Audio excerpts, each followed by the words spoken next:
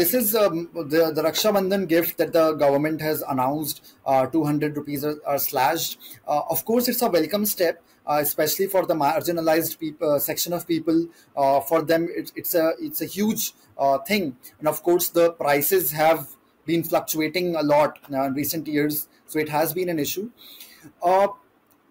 but connecting it to the India's foreign policy vis-a-vis UAE and Middle East, I think it's a little more complex than that uh, when you look at India UAE relations, uh, especially if you're talking about uh, the oil trade, that oil trade has actually gone up.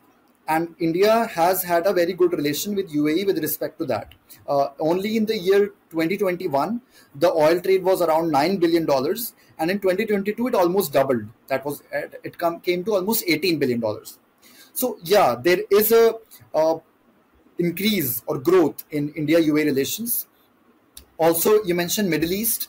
Uh, yes, India has been uh, in you know a great trading partner of the Middle East, and India has been a huge market.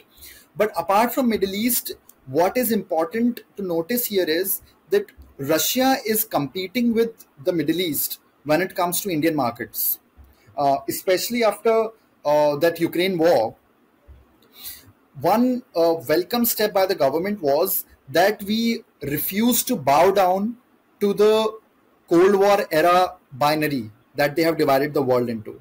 And as our external affairs minister, Dr. S. Jaishankar, has also said, that we refuse to play by that binary that you are you are supporting United Nations, uh, United States, or or the USSR or, or the Russia. So we are, we, we fail to uh, we refuse to bow down to that binary. So so Russia has also been uh, supplying gas and oil uh, to Indian markets. So that has also uh, helped in decreasing the fluctuation of the oil prices. But at the same time, a lot more needs to be done at the same time because when it comes to this subsidy, the poor people will be getting on 200 rupees less.